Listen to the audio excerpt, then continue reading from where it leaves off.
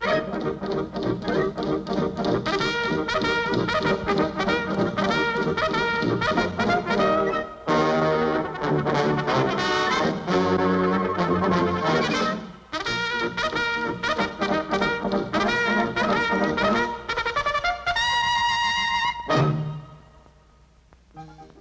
Royal Canadian Mounties had not had a visitor for some time, and Inspector Fenwick was rather lonesome. And then a letter came announcing... The arrival of my nephew Melvin, a cute eight and a half year old. They say he's a spitting image of me. Do-Right, I want you to take care of the youngster. He's due to arrive on the 1202. But, Inspector, aren't there more important things for me to do than play nursemaid to some whining kid? Attention, Do-Right.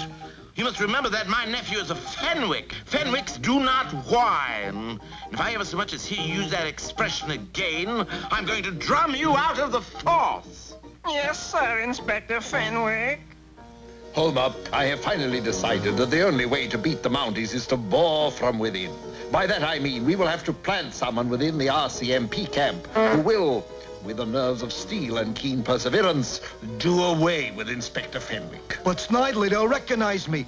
No, Homer, I wasn't thinking of you. The man I have in mind is Nasty Noogle. Oh, no, Snidely, not Nasty Noogle. Yes, Homer, things have gone too far. It's time for Nasty Noogle. We've got to get him into the Mounties. There's only one problem. Nasty Noogle is only three feet tall, and you know the requirements of the Mounties. Eyes of blue, heart that's true. Snidely, Noogle's nasty. Of course, he's nasty, but that won't keep him from getting into the Mounties. It's his height. They won't accept anyone under five feet ten inches tall. But I'll think of something. Anyway, Noogle's due on the 1202.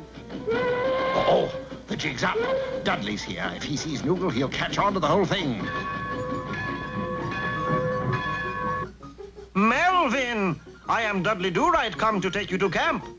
What's the matter? Oh, you don't have a balloon. Well, here. What do you make of that, Homer?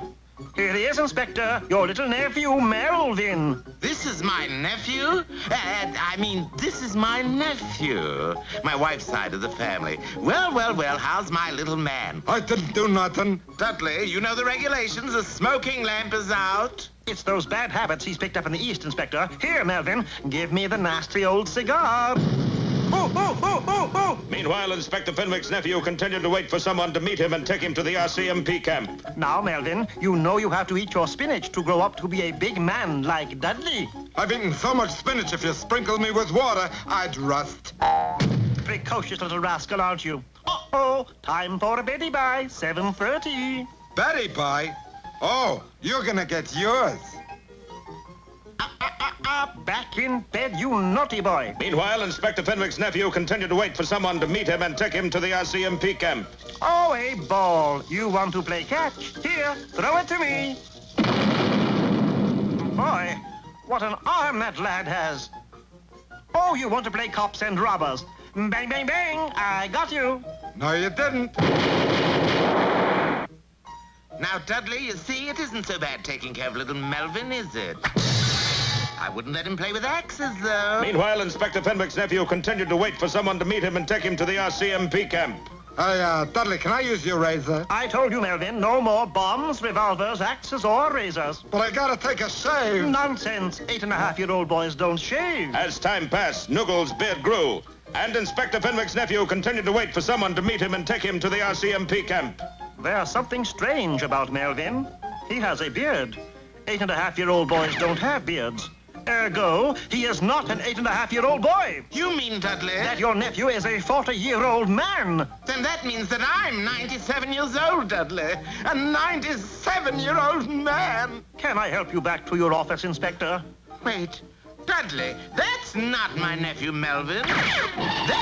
That's my nephew Melvin. Hello, Melvin. Hello, Uncle Fenwick, and goodbye. Goodbye, Melvin. My vacation's over, Uncle Fenwick. I must return home now, but don't think it hasn't been fun. Well, say hello to your mother for me.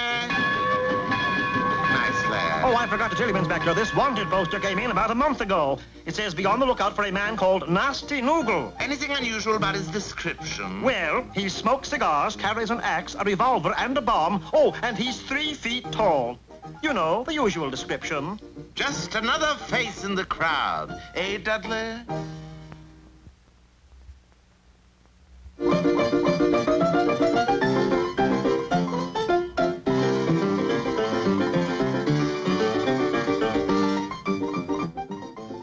Let's face it, watching hidden cameras take down Hollywood stars is just plain fun. So get in on the jokes as Ashton Kutcher pranks the rich and famous on Punk'd. Weekdays at 5 and 5.30 on Coffee TV.